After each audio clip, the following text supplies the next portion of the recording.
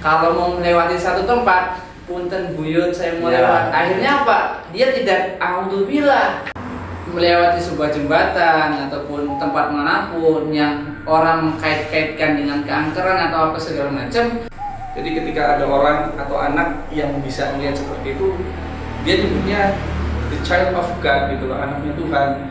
Yo guys, balik lagi sama kita. Sekarang kita lagi sama Pak Sehat Pak? Sarip sehat. Nah, mungkin kalian yang belum tahu sama mereka kita ngobrol-ngobrol dari Asarif dulu deh coba kenalin teman-teman Boleh. Ya, Bismillah. Assalamualaikum warahmatullahi wabarakatuh. Waalaikumsalam. Eh, perkenalkan saya Sarif. Saya dari Jatibarang, Indramayu. Kebetulan saya juga best friend mereka gitu. Kesibukan saya kerja sih dari pagi sore pagi sore. Kerja normal. Normal. Oh. Maksudnya manusia. paranormal itu bukan bukan bukan. Oh. Kerja. tapi tapi nanti kita bahas paranormal soal soal sana tuh ya boleh boleh boleh insya Allah. mungkin segmen ini agak misteri nih guys Ya ya juga sih. agak gaib-gaib gitu lanjut Asarif Eh, saya eh, kebetulan senang sih, bukan senang, jadi ada sedikit lebih ngerti tentang yang tadi dibicarakan sama Mas Rangga soal boy-boyan gitu loh. Jadi insya Allah nanti duduknya saya di sini pengen sharing bareng sama Mas Rangga sama Mas Fajar juga soal kan apa sih goib yang sebenarnya gitu. Walaupun saya bukan ustadz ya, saya bukan ustadz, saya juga bukan dukun, saya bukan paranormal. Cuman seneng aja belajar yang seperti itu dan kadarullah nemu apa istilahnya nemu nemu ilmu yang eh, cocok gitu loh passionnya karena dulu juga sebelum saya terjun ke dunia ini saya sempat jadi tukang sulap juga. Sulap. Sulap apa tuh, Bang? Magic magician gitu kan terus Oke. eh, sempat bergelut di dunia hipnoterapis juga klinik-klinik juga pernah dulu dan alhamdulillah di beberapa tahun kebelakangan setelah wis tua judul lagi. Ah, sudah tua. Iya. sudah tua eh, alhamdulillah Allah kasih jalan untuk belajar jadi perukiah baru belajar. Perukiah syariah. Ya walaupun modelnya begini minimal bakal dalam pocong beli utilan sih. Nah berarti berarti pernah tuh bang? Maksudnya hal-hal ya kayak wujud pocong itu emang ada tuh gimana tuh bang? Sebenarnya kalau wujud pocong itu beneran ada satu Wujudnya ada. wujudnya ada. Dan mungkin sering kita lihat kok orang mati Islam kan dipocongin gitu ya. Mungkin pertanyaan Mas Rangga secara penampakan ada apa enggak sih? Iya. Mungkin mungkin pertanyaan begitu. Jadi kalau dijawab dari versi secara kacamata Islam sebenarnya itu tuh kerjaannya jin doang sih. Hmm. jin jin Berarti kasusnya bukan memang bukan orang yang sudah meninggal, dia menampakkan diri udah enggak ya? Memang udah enggak gitu ya? Enggak, enggak. Kalau hakikatnya ketika orang meninggal, ya ruh jiwanya itu ya ditangkap sama malaikat maut, sama malaikat pencabut nyawa gitu. Kalau memang orang meninggal kemudian dianya jadi pocong, berarti kita nggak percaya sama tugasnya malaikat. Iya. Ya. Kalau kita nggak percaya sama tugas sama malaikat, berarti kita juga nggak percaya sama yang menciptakan malaikat. Itu bisa jadi kekufuran besar sebenarnya. Jadi kalau dikatain yang teman-teman lihat nih kan di TV-TV, di YouTube-YouTube dulu yang nangkep pocong, pocongnya digebukin apa? Saya pastiin 1000% itu hoax. itu bukan pocong itu Bukan. orang ya pasti Bukan itu ya settingan, settingan Penipuan. kurang lebih kayak gitu. nah berarti wujud pocong itu memang ada Wujud secara pocong. spiritual Spiritual itu kerjaannya bangsa jin karena di Indonesia khususnya dari zaman dulu kala bangsa jin itu sebenarnya ngelihat apa yang lagi ngetren sih. Kalau dari yang pernah oh ikutan tren sih Yes, apa yang lagi viral dan misalkan Makanya sekarang udah nggak ada ini ya, nggak ada setan yang dulu ya kayak apa gitu. Yang dulu apa sih? Kolor hijau. Kolor hijau. Iya, Kolor hijau. Kolor Iya. hijau. ya kan? yang yang sempat viral ya, yang sempat viral yang sempat setan-setan masuk TV kayak suster ngesot.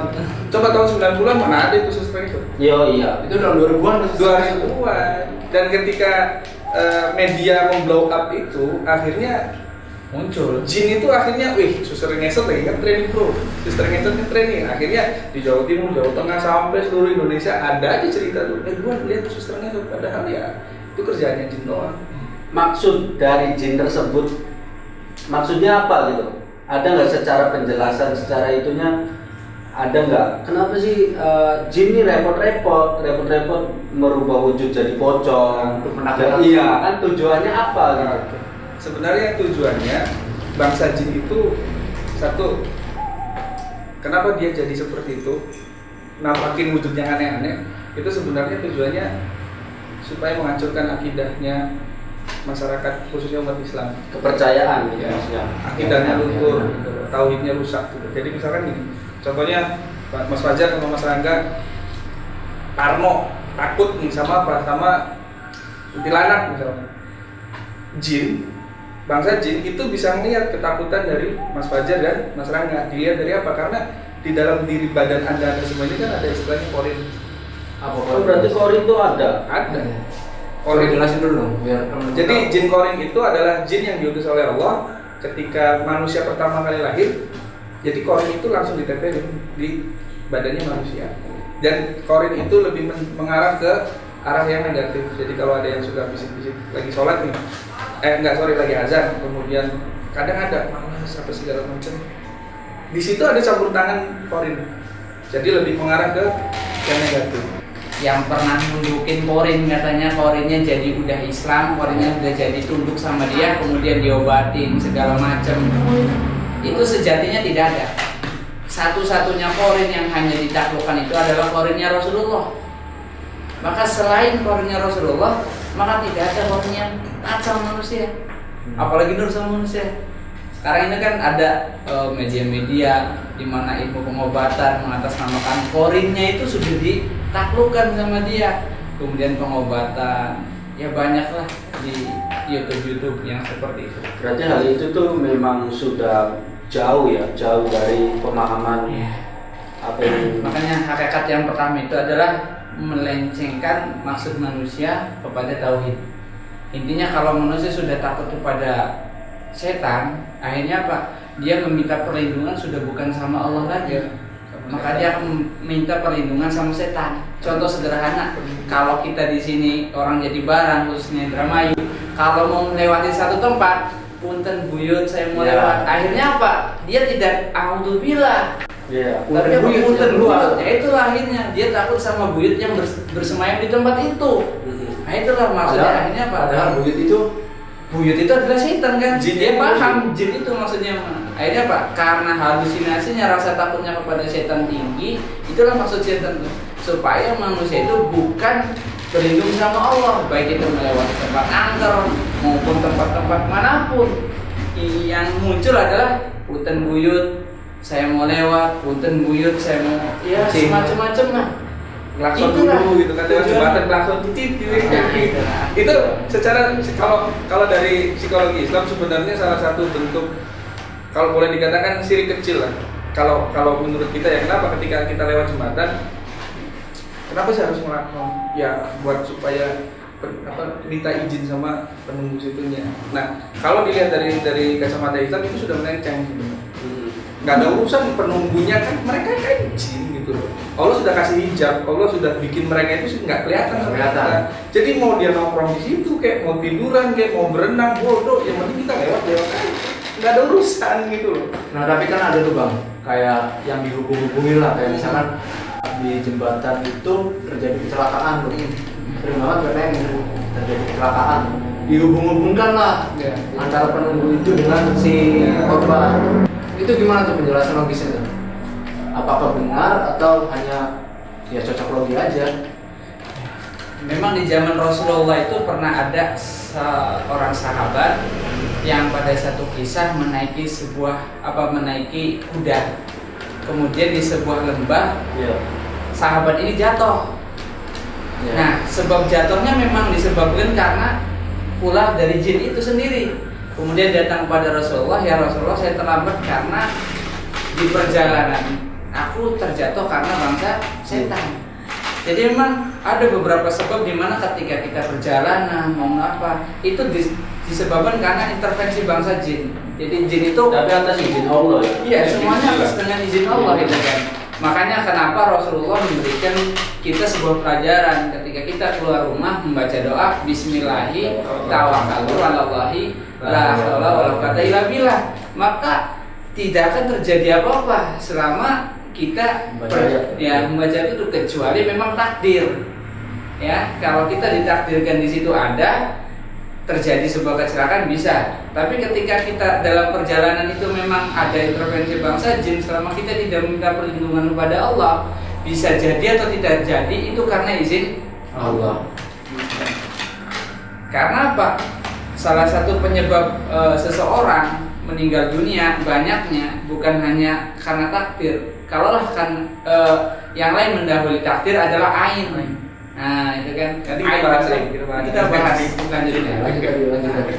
Jadi intinya seperti itu. Ketika melewati sebuah jembatan ataupun tempat mana pun yang orang mengkait-kaitkan dengan keangkeran atau apa segala macam, itu hakikatnya tidak terjadi kecuali dengan izin Allah, ya. Kemudian yang kedua bisa jadi karena kelalaian kita itu sendiri. Ya, ya itu logis sih. Ya. Jadi intinya apa? Karena kelalaian kita sendiri. Yang ketiga yang lebih dominan adalah karena eh, apa ya namanya imajinasi. Seseorang ketika terbawa imajinasi di tempat itu dari jarak sekian sampai sekian itu angker. Sehingga apa? Dia naik kendaraan Ya, tidak. uh, cepet gitu kan Karena pengen cepet-cepet karena gitu. cepet lewatin tempat itu. Dan kemudian tidak tidak sadar di situ ada lubang Iya. atau apa segala macam. Akhirnya ya terjadilah sesuatu. Karena kelalaian karena dia. kelalaian sendiri. Karena apa? Karena mitos di tempat itu angker sehingga terbawa imajinasinya. Sehingga ketika imajinasinya masuk ada yang lewat. Ada bayangan yang ngikutin. Padahal perasaan padahal perasaan itu sendiri contoh sederhana orang yang sadar kok bisa kecelakaan gitu kan. Ada juga orang yang memang nggak sadar misalkan kayak orang yang mabok atau apa nggak kejadian seperti itu gitu. Karena apa? Karena pikirannya udah nggak bayangin yang nggak nggak yang mistis gitu kan. Dia aja naik motor atau apa. Ya itu seperti itu. Jadi sebenarnya eh, karena imajinasi dia sendiri. Akhirnya yang membawa dia menjadi ya musibah di tempat itu Kalau itu sih Pak, kayak pesugihan tuh yang ada tumbalnya itu gimana? Nah, kayak pesugihan yang ada pakai tumbal, memang itu ada perjanjian bangsa jin. Tapi memang itu fakta berarti. Fakta. Fakta. Ada. Fakta. Maksudnya gini nih, yang beredar di masyarakat itu bahwasanya ketika kita membuat sebuah perjanjian dengan bangsa jin, misalkan, oh eh, salah satu keluarganya dibawa ke alam dia. Nah itu tuh untuk memperjelas hal itu tuh gimana? Atau memang ada bantahan-bantahan sendiri? Iya, jadi kalau untuk kasus pesugihan kebetulan saya pernah beberapa nangani kasus kayak gitu.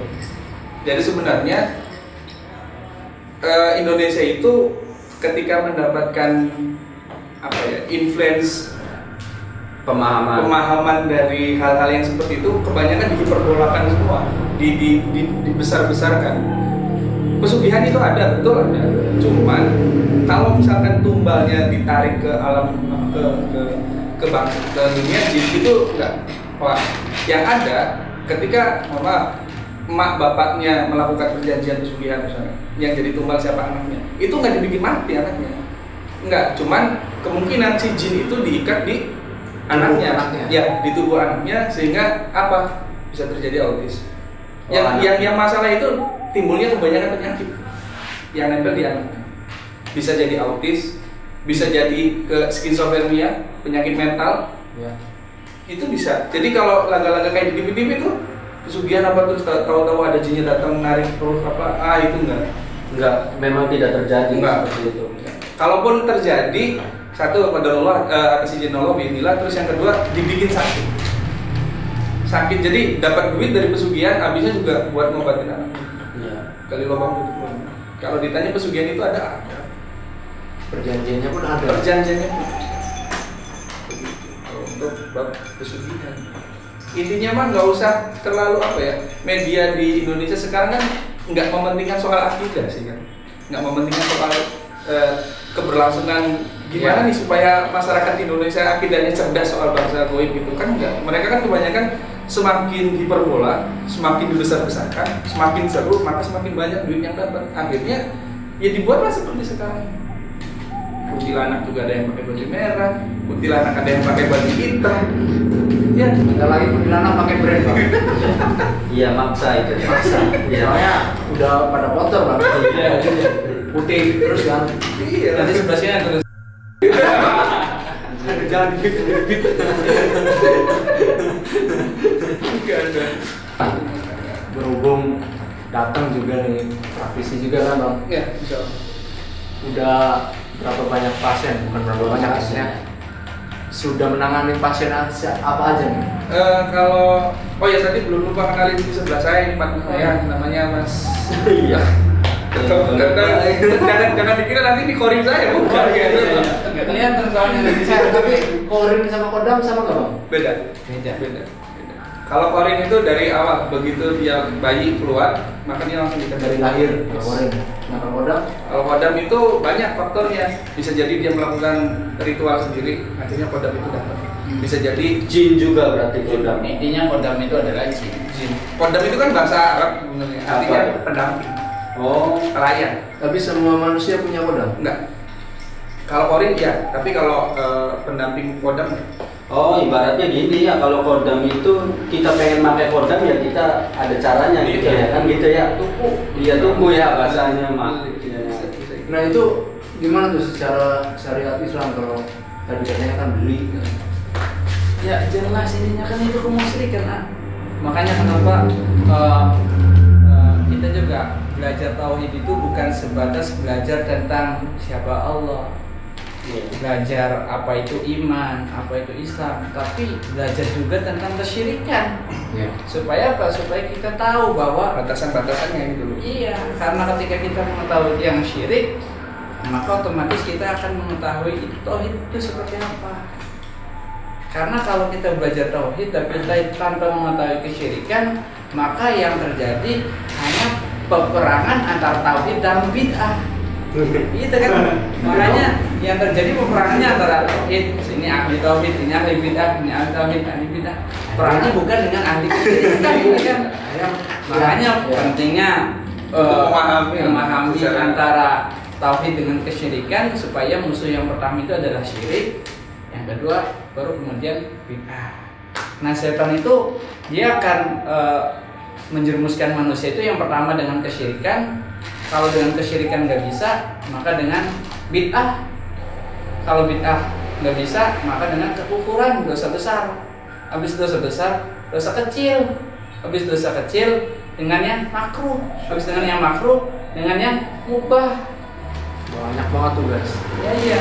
Jadi kalau udah berat banget, imannya udah kuat banget sampai yang mubah ini yang Ya. sampai yang sia-sia aja maksudnya yang nggak ada pahala, nggak ada dosa.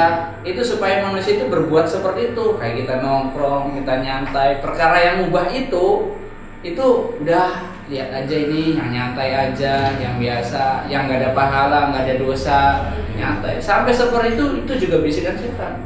Beda ketika kita ngobrol nongkrong kayak gini, kita bahas tauhid, kita bahas siapa Allah, siapa Rasul, apa itu kemusyrikan, kesyirikan. Itu adalah bagian dari dakwah. Jangan bilang kayak gini kita membawa ilmu gitu. Nah, itu dia. Kok saya kenalin diri? Silakan. Soalnya tadi dia koring saya gitu. Nah berarti soal tadi kodam berbalik lagi ke kodam. Ini anak indigo gimana tuh bang? ya, intinya anak indigo Berarti dia punya kodam bos atau gimana? Iya. Indigo itu sebenarnya kalau di literasi kita bahas tuh bang. Ya, ya. Kemarin makanya kemarin saya jadi sama nggak bahas soal indigo. Kalau dari literasi ilmu yang saya pelajari, indigo itu dibagi beberapa macam. Saya saya jelasin dulu se- sedikit ya. Tapi sudut pandang mana ini? Maksudnya dari literasi. Literasi dari uh, perukiah, dari dari perukiah syariah gitu. Bukan dari apa ya? Sebenarnya kalau indigo kan istilah warna. Indigo kan warna. Biru lebih ke ungu-unguan gitu kan. Dan itu pertama kali istilah indigo itu diciptakan sama Mbak Nancy. Mbak Nancy itu dia ahli nujum, dia tukang sihir dari Eropa. Jadi ketika ada orang atau anak yang bisa melihat seperti itu, dia nyebutnya the child of God gitu loh anaknya Tuhan garis miring dia indigo karena abu-abu remeng-remeng nah itu kalau dari persepsi eh, secara global tapi kalau dari se- persepsi secara islaminya dari teman-teman rupiah indigo itu dibagi empat. Yang pertama yang di telinga kemudian indigo yang di mata indigo yang di hati yang terakhir indigo yang di badan tubuh. Contoh gini indigo yang di mata coba teman-teman ada nggak yang sekolah ataupun kerja teman main? Yang lain nih diem tapi ada satu teman kalian yang lihat ya di situ ada kuntilanak lagi tiktokan loh gitu. Misal gitu kan. Misal gitu tapi dia nggak bisa dengar gitu loh cuman yang Oh iya. dia kemungkinan itu indigo yang di mata kalau kata ustadz saya namanya recognizer recognizer indigo yang uh, afiliasinya di mata terus yang kedua indigo yang di telinga Cuma bisa mendengar ya, berarti. mendengar doang makanya kan eh, banyak orang yang ketika tinggal sendirian di rumah Tikus padahal ya. tikus gitu Ya. ya. Parno kan tapi kan kadang ada orang yang eh, lagi enak ngobrol begini tiba-tiba dia yang manggil. Ada yang nangis. Ada yang nangis. Nah itu asumsinya kalau dilanjutkan kemungkinan dia bisa indigo yang di telinga terus yang ketiga indigo yang di perasaan. Feel feeling gitu di hati. Kebanyakan orang yang indigo yang di hati yang di feeling itu ketika datang ke apa namanya satu ruangan ngerasa merinding. Hmm. pernah nggak sih teman-teman ngerasain begitu? Hmm. datang tiba-tiba eh ya Ya, hawanya beda Iya. Ini beda oh, kok ini saya kenceng ya? Tapi dia nggak melihat dia nggak mendengar apa pun gitu nah itu indigo yang di hati. Nah yang terakhir indigo yang di fisik badan. Secara badan mah kecil tapi bisa potong motor sendirian. Secara logis ini nggak masuk akal ya dorong mobil sendirian ngangkat beban bahkan tiga li- lima kali lipat lebih kuat dari badannya itu bisa diangkat nah itu Tapi di luar latihan itu tuh, Iya. memang bawaan berarti. bahwa Kan ada tuh yang latihan, kan Beda. kalau latihan kan bisa Kalau- dijelaskan Iya. secara ini ya. Ya, normalnya manusia itu bisa mengangkat sesuai dengan berat badannya. Iya, berat badannya berapa yang bisa diangkat, yang bisa yang kita. bisa diangkat. Itu, itu kan normalnya. gitu, Bang. Iya. Oh, ya, gitu. Ah. Kalau latihan, kalau se- sesuai latihan enggak, enggak termasuk. Tapi ini dada, misalkan ada yang rosa kedot kan mencari badan badannya kedot. Temen ini itu ulang apa gerak? Kemungkinan besar ada indigo yang di eh, apa namanya badannya. Dia nggak bisa melihat, nggak bisa merasakan, nggak bisa mendengar. Akhirnya di, di disalah persepsikan menjadi kelebihan ya. Yes, Padahal itu kelebihan atau kekurangan. Menurut kacamata Islam itu gimana? itu totali sebenarnya penyakit Penyakit. penyakit ya. Indigo itu penyakit dan kronis sebenarnya. Kenapa saya bilang kronis? Karena indigo itu dianggap kita gift, gift gitu. Spesial. Ya, dapat anugerah dari Tuhan. Ini saya saya bikin disclaimer nih ya. Nanti Ya. teman-teman Ya, boleh eh, silakan nanti kalau ada apa-apa hubungi Mas Angga Mas Fajar. Iya. Buat teman-teman Iya, tanya langsung ya. buat teman-teman yang ngerasa eh, di luar sana teman-teman viewer nanti di saya April barangkali pernah ngerasain kok gua sering lihat yang aneh-aneh ya. Hal-hal yang disebutin ya tadi itu. tadi.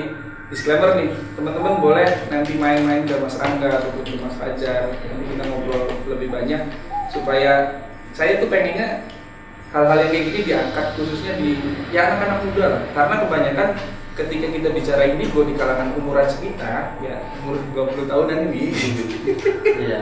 Situ 40. Iya. ya kan itu dianggap suatu kelebihan loh karena media zaman sekarang YouTube itu ramenya kan karena hal-hal yang seperti itu Iya. Dianggap kelebihan, dia bangga, dikomersialkan. di Bang. komersial Iya. Nah, itu itu yang yang yang yang yang bikin saya miris yang seneng siapa iblis Bukan Anda. no, no, no, no. The devil iblis yang seneng karena kalau kata ustadz saya Ustadz Muhammad Faizar dia bilang sebenarnya orang-orang anak-anak indigo yang memanfaatkan kemampuannya demi komersi komersialisasi itu sebenarnya mohon maaf duta besar Iblis. Bangsa jin. Iya. Karena dia yang dia yang punya koneksi langsung dengan Iya. itu kan. Iya, tanpa, Jadi tanpa hijab ya. Ya, kembali lagi kepada ilmu. Iya. Pentingnya ilmu memahami tentang tauhid dan kesyirikan itu sehingga paham bahwa ketika kita bisa melihat seton, ketika kita bisa mendengar suara-suara yang aneh, kemudian eh, dan merasakan sesuatu yang aneh kita dianggap itu sebagai karomah ya ketika sudah dikasih tahu bahwa ini adalah penyakit ya jelas dia harus sadar bahwa ini sebenarnya penyakit bukan karomah karena kadangkala e, jin itu bisa membuat dia merasa seperti itu kadang-kadang jin itu memberikan suatu hal positif seolah-olah memberikan nasihat. Sebagaimana e, iblis juga waktu pertama kali memberikan nasihat kepada Nabi Allah Adam. Waktu pertama di e, surga. Nah begitu pula ketika e, orang yang merasa indigo merasa nyaman dengan adanya setan dalam tubuhnya itu seperti hal seperti itu. Saya nggak bisa merasakan apa-apa misalkan ada yang minta dikasih air atau apa kok bisa sembuh? Padahal saya nggak belajar apa-apa. Seolah tiba-tiba jadi orang pintar yang memberikan manfaat kepada orang lain. Padahal di sisi baik e, jin itu tidak ada yang gratis. No. ketika dia mendapatkan fasilitas. fasilitas seperti itu pasti baik ibu dirinya, keluarganya ataupun siapa pun tidak akan pernah sakinah bisa jadi keluarganya akan terus bertengkar, anaknya yang suka penyakitan, atau anak menantunya akan bercerai. Sejatinya setiap seseorang yang merasakan ada penyakit itu untuk para viewer, baik itu matanya suka melihat, telinganya suka suka mendengar atau merasakan yang aneh-aneh. Kemudian ada orang yang datang motor saya hilang, minta tolong apa? Dia bisa menemukan itu kan dengan cara seperti itu. Nah itu tuh berarti kerjaannya kodam apa jin korin?